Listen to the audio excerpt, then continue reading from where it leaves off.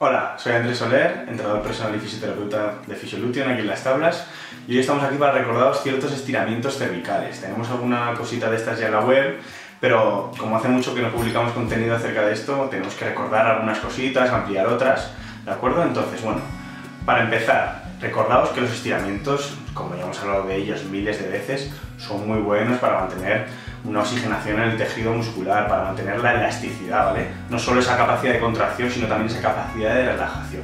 Son muy positivos para cervicalgias, dolor, de cualquier etiología, ya sean hernias, ya sean rectificaciones cervicales, para muchas cosas, ¿vale? Entonces vamos a establecer una rutina muy cortita y que se puede hacer perfectamente en casa y os va a servir, esperemos, de, de, mucha utilidad. Vamos a meternos ya en faena, ¿de acuerdo? Entonces, muy sencillo, tenemos varios movimientos en el cuello y tenemos que hacer estiramientos contrarios a dichos movimientos, ¿vale? Tenemos que tener muy claro, como siempre os decimos, que no tenemos que sentir dolor, tenemos que sentir una tirantez, vamos a distinguir tirantez sí, dolor no. Si sobreestiramos un músculo, estamos perpetuando la activación de puntos gatillo y eso traducido a castellano es que le estamos cabreando, que le estamos tocando las narices. Y por lo tanto, podemos perpetuar esa contractura, lo que no queremos. Es decir, no por sentir muy, mucho dolor, no por hacer un estiramiento muy fuerte, va a ser mejor, ¿vale? Vamos a buscar esa tirantez sin dolor. Que quede claro para siempre, para todos los estiramientos. Entonces, estiramiento número uno. Vamos a buscar una rotación, ¿vale? Una rotación de cuello. Esto es el movimiento de rotación, podríamos ir a un lado o al otro, pero vamos a buscar una posición mantenida.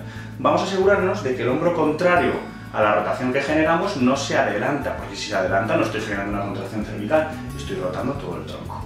Entonces, mantenemos este hombro estable y con esta mano me aseguro de forzar el estiramiento al lado contrario. No dejo que este hombro se me vaya. Aquí. Puedo sujetarme desde aquí o desde aquí si me resulta más cómodo. Posición 25, 30, incluso hasta 40 segundos, ¿de acuerdo? Entonces, Puedo ponerme de otro lado para que me veáis mejor. Me pongo aquí. Incluso del lado contrario para que veáis que este hombro no puede adelantarse. Recordad, 25, 30, 40 segundos. No os explico al lado contrario porque obviamente es igual, ¿de acuerdo? Vamos con la inclinación. Inclinación. Otra vez tenemos que hacer hincapié en ver dónde está mi hombro contrario no puedo dejar que suba, si no estoy, rotando, estoy inclinando todo el tronco. Tengo que fijar este hombro aquí, cojo por encima de mi oreja y tracciono. ¿Vale? Podéis incluso apreciar aquí una cierta tirantez que se hace visible. Mantengo la mirada al frente en este caso, no desciendo la mirada, mantengo la mirada al frente. Puedo asegurarme de que este hombro no, se, no suba generando incluso una fuerza con el puño contrario hacia abajo. Incluso si tengo la ayuda de algún familiar, simplemente con que me ponga aquí la mano encima me está haciendo un gran favor. Me pongo de perfil para que me veáis un poquito. Perfecto. Vale, lo mismo sería para el otro lado. Ya tendríamos dos estiramientos. Vamos a por el tercero. Sería flexión. Cojo mis dos manos, las pongo encima de mi cráneo. Y aquí, ojo, no estoy haciendo una gran fuerza hacia abajo, ¿eh? Simplemente con el peso de vuestros brazos y una relajación del cuello, estáis consiguiendo lo que buscamos, ¿de acuerdo? Ya sentiréis una, una tirantez aquí posterior. Recuerdo, no quiero una fuerza, quiero simplemente dejar el peso de vuestros brazos y sentiréis la tirante. A un lado, me pongo de perfil para que lo veáis. No estoy ejerciendo casi fuerza, ¿eh? el peso de mis brazos. Luego tendríamos el movimiento contrario a este, que sería una extensión. Aquí también hay que tener mucho cuidado con este estiramiento porque no es del todo positivo. Podemos marearnos, sentir alguna sensación, tener reacciones vasovagales que no nos benefician para nada. Entonces, dejaríamos la cabeza caer hacia atrás.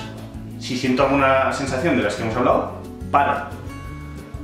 Dejo caer la cabeza hacia atrás, incluso puedo apoyar un poco las manos en mi frente o incluso subir un poquito la barbilla me pongo de perfil para que lo veáis, dejo caer la cabeza hacia atrás, puedo hacer un poquito de fuerza sobre mi frente o un poquito de ascenso sobre mi barbilla. De acuerdo, una vez tenemos esos estiramientos más globales, os explicaré un par un poquito más específicos.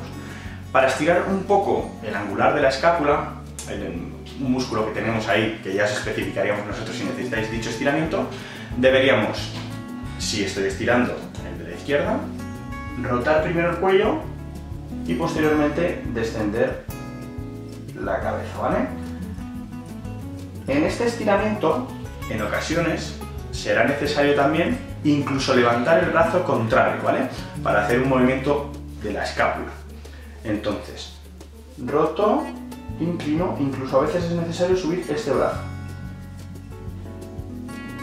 Todo lo contrario a lo que os decíamos antes.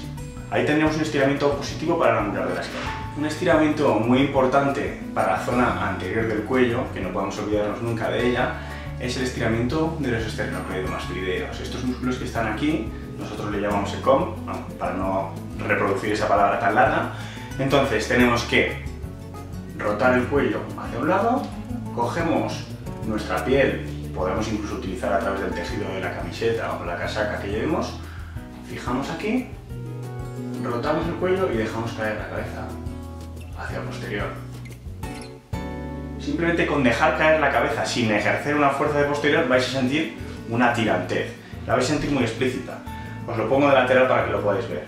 Pongo aquí la mano, roto y dejo caer. Simplemente busco la relajación, la relajación hacia posterior y sentiré una tirantez anterior. Y luego uno para trapecio, que es un poco complejo, pero se puede hacer. Deberíamos jugar con una inclinación hacia un lado y una rotación hacia el lado contrario, lo cual es un poquito complejo, pero tampoco lo es tanto, ¿vale? Entonces lo que hago es primero rotar hacia la izquierda para estirar este y luego dejarme llevar la cabeza hacia la derecha.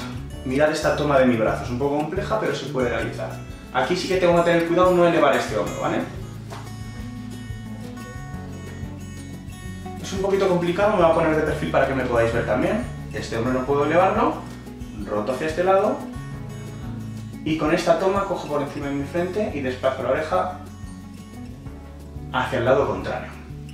De este modo tenemos una rutina de estiramientos que esperemos os hayan servido de gran ayuda.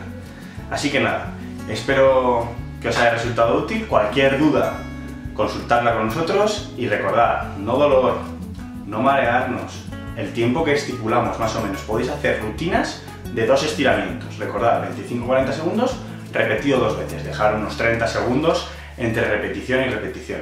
Así que nada, cualquier cosa os, esperamos por aquí.